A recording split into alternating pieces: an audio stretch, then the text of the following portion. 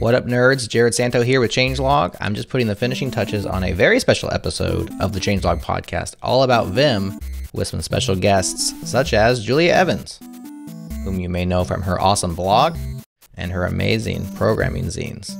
Julia was gracious enough to sit down for a few minutes and Vim with me just to give everyone a taste of what her Vim life is like. Take a look. This is a shell script, and I had these fancy little like headers in the script, but you can see like if I edit it, it screws up the header, right? Right.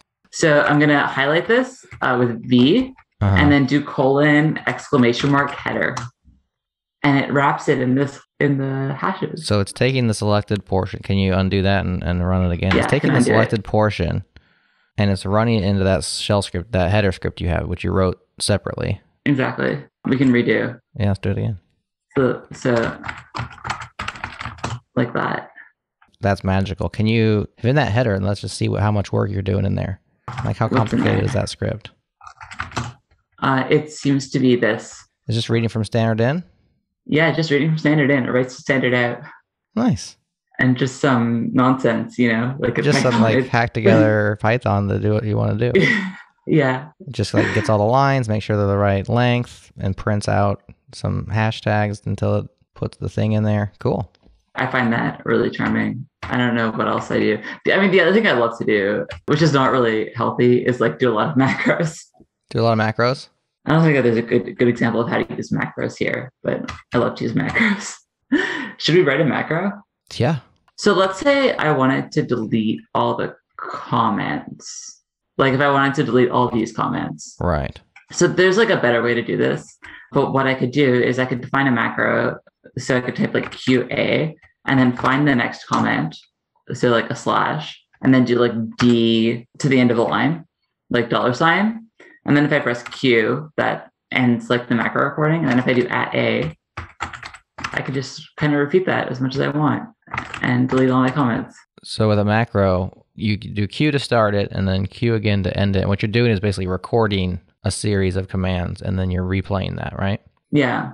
And like the sort of interesting thing about Vim macros to me, because we were talking about ed before. Yeah. Because like sometimes I'll edit uh, configuration files and like use a lot of like Vim macros to do these complicated edits, and it's like not really a good choice. Like, but it, it's fun. Mhm. ed is this text editor, which is like Vim, but like it's almost like running Vim macros, if that makes sense. So you can write an ed program, which is kind of like a Vim macro, and then run it on your text file. Right. No one should do this.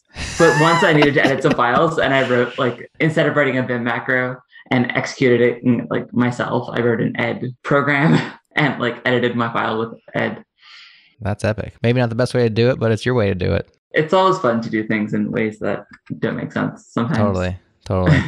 so there you have it. A quick peek into Julia's Vim life. She has a lot more to say about it. Here's a preview from the podcast.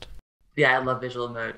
Um, one of my favorite things about visual mode um, is do you know how you can go into visual mode and then do like colon exclamation mark and then type a Unix command and it'll pipe the stuff you selected into that command and then replace it with the output of the command. No, I didn't know that. I think that sounds spectacular. it's spectacular. So sometimes I'll have like a list that I want to sort. And so I'll just select it all and do like colon exclamation mark sort and then it'll sort it in my editor. I don't need to go anywhere. Um, I, I was making some like shell scripts and I wanted them to have like fancy headings. So like I wrote a Python script to generate the headings. And then I piped it into the script in Vim. I don't know. I don't use that so often, but every time I use it, I'm so happy. Click the link in the description and listen to the entire episode. In addition to Julia, you'll hear from Suz Hinton, Drew Neil, and Gary Bernhardt. Cheers.